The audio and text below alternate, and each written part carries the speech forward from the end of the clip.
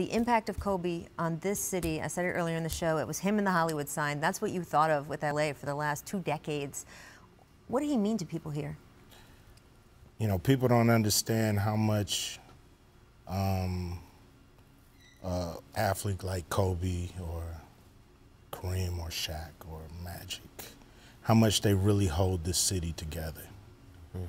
You know, this city has a lot of fault lines. Right not only in the ground but but with the people. Yep.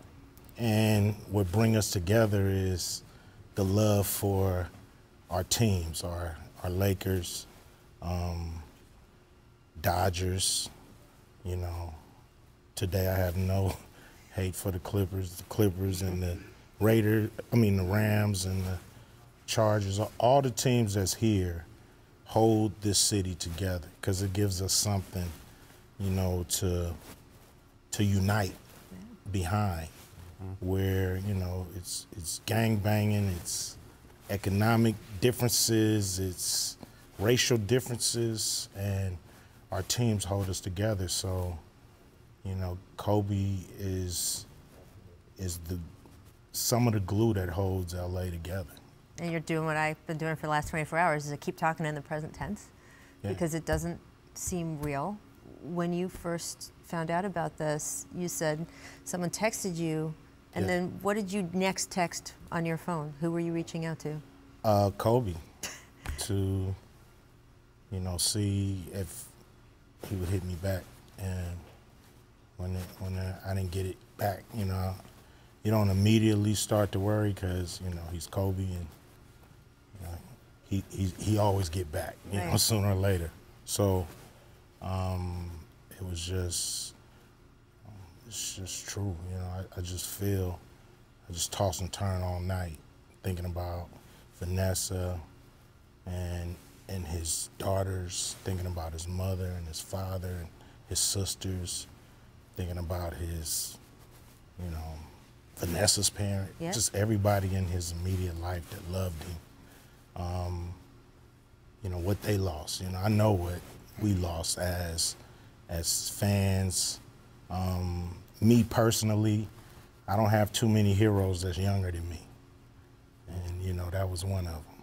Yeah. So um, it's profound, uh, but I think more about his family and and that you know I hope the city wraps their arms around the family and and and, and embrace them as much as they embraced Kobe, because you know, the family's going to need it. What do you think he meant to Los Angeles, Richard? Well, you know, you know what was so special about him is that he was from Philly, mm -hmm. and he came here.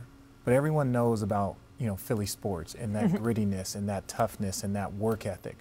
But he combined that Hollywood smile, that Hollywood entertainment, right? So that's what made him so special. My parents are both from Philly, mm -hmm. and I'll, I'll, never forget this. I was in like my second or third year, and we had just beat them.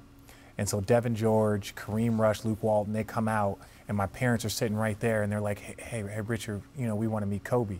Now I'm thinking about Kobe, the, the the competitor, and I, so those guys come over. I was like, "Hey, my parents want to meet Kobe."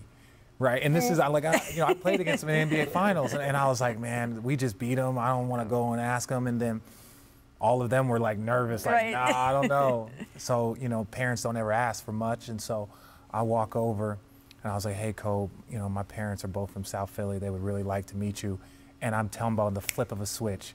He was like, all right, go. He went over there and talked to my parents for five minutes and just, oh, you, you know, you went from to South Philly High School. Oh yeah, and he just chopped it up with them for five minutes. And I'm 23 years old, like in awe. Mm-hmm. Like Kobe, uh, Luke, and Devean George are sitting behind him, like, what is going right.